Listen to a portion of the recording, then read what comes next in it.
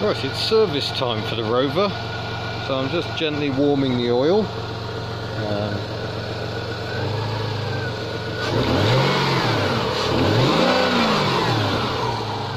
um, so that will hopefully come out nicely.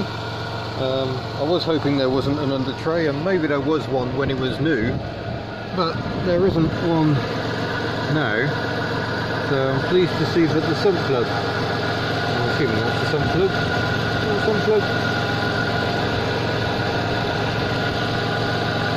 No, it isn't the sump plug, is it? Where is the sump plug?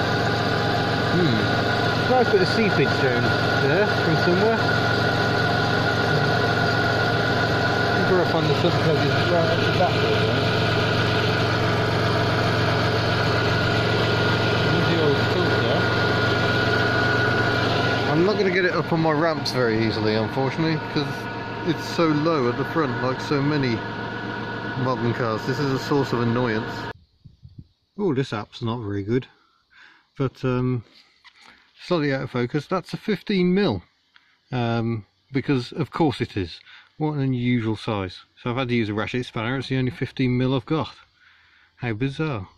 And there's the oil filter. Wonder how easy that will be to undo. Looks like it's been there a while. Right, we've got the new filter in place, which is a genuine MG Rover one. Look at that for posh.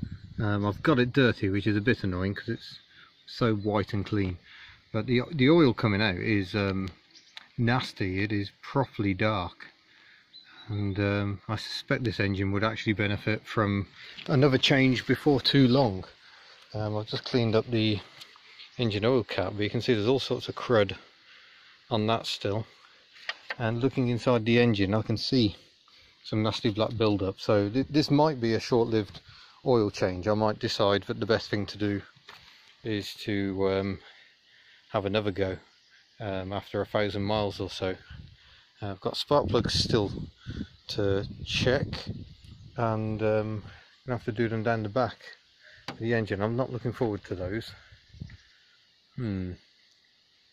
But here are where the VIS motors are located I think variable intake system so in theory those boost your low rev torque by changing the induction length um, there are various race cars that used to have it where the induction tubes you could actually see them increase and decrease in length depending on what sort of a load there was on the engine um, I'm going to assume those are working because even though it actually seems to um, not have any low down torque. I think that's just a characteristic of this engine because it's a 2 litre and um, yeah, he just hasn't got any torque. Well, that's just great. I wondered why it was. Oh, hold on. There it is.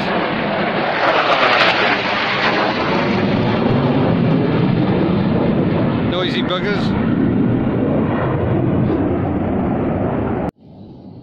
Right, let's try that with less jet engine. Um, yeah, I was getting worried because the oil can was filling up my catch tank and I thought this shows no sign of slowing down. So um, I managed to get the plug back in, go and drain that and empty it a second time. And uh, it turns out the oil capacity is 5.6 litres, which is enormous for a 2 litre engine. Um, presumably because it's quite a big 2 litre engine given you know the quad cams and all that gubbins. So I've poured the 5 litres in that I bought and it still isn't touching the bottom of the dipstick yet I don't think.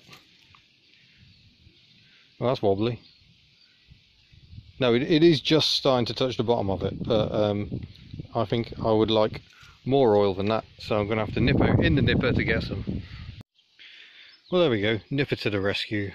And um, all it cost was 13 pounds 85 pence for one litre of oil. I mean, honestly, next time we complain about fuel prices, what about engine oil prices? That's just insane.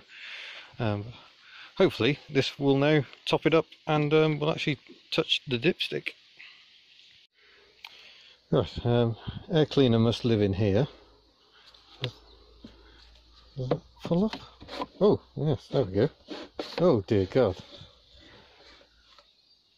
Jeepers. No wonder it's been feeling a bit flat. Ugh. Yuck. I would suggest it's breathing a bit heavily, wouldn't it, really? Look at the state of that. Good grief. Thankfully, we, we have a new air filter sitting over here. Yes, it is quite an unusual shape. So I think we'd better get that fitted. minginfilters.com Right, we'll just start her up then.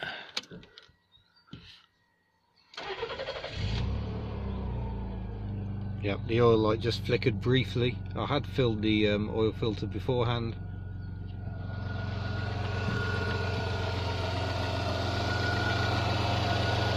Sounds alright.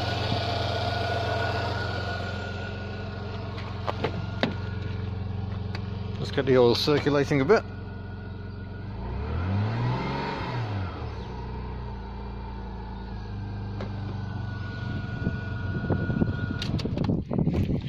and uh, we'll just do a leak check and um, let the level settle again.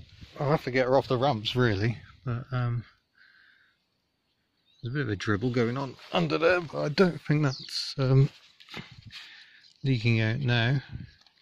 I think that's just um, residual. Sorry, I wasn't showing you where to go. It really doesn't focus well in. Look, I've just changed the app on my phone, um, which I use for video and I can't say I'm overly impressed at the moment but um, yeah I'll just clean that up a bit I think just so I can make sure it's not leaking and then we'll be able to call it done. Uh, I haven't changed the fuel filter because one didn't come in the service kit. um, I think given the state of everything else that should be done ASAP I wonder where it is. Hmm. Interesting question. Right we've um, working the engine up a fair deal, I think.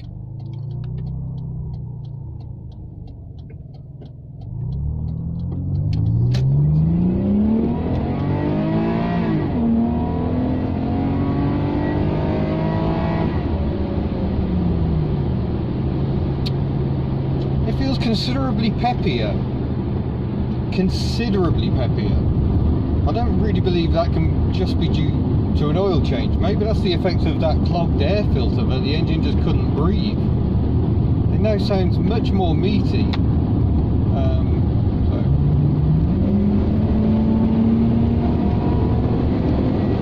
Yeah, it's feeling, oh, it's feeling lively. Oh, that's extraordinary. So um, perhaps that laziness I was getting, which was upsetting me, was just because it couldn't breathe quite extraordinary. Let's see what that does to the MPG.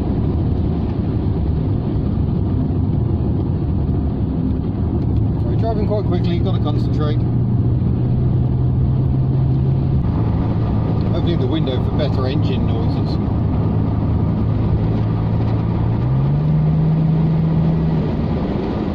Yeah, there's a sound there. Um, the variable intake system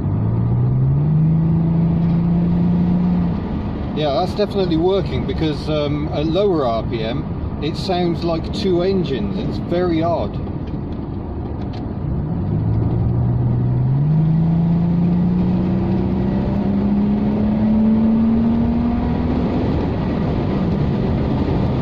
Oh yeah, I think that was a good move. So servicing your car turns out is a really good idea. Who knew?